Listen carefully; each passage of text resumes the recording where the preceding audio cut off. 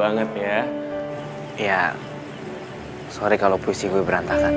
Eh, nggak berantakan, Sam. Lo jago banget bikin puisinya dan puisi lo tuh hampir mirip sama temen gue siaran juga, Gibran. Anyway, lo juga ini ya, suka bikin puisi gitu? Enggak lah. Waktu dulu gue nembak bulan, gue kasih dia puisi. Tapi puisi itu bikinan temen gue. Nggak tahu kenapa, semenjak gue ngedeketin Karin, kata-kata itu muncul sendiri dari otak gue.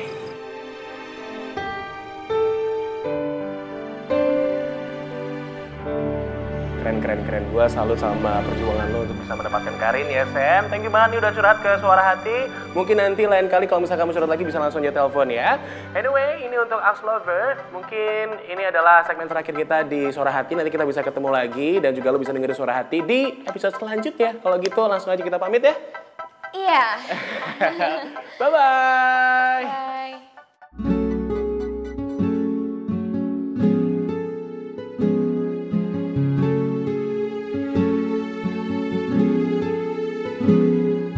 Karin, tadi itu yang dimaksud sama Sam, Karinnya lo bukan sih? Iya kan? Ya bukan lah.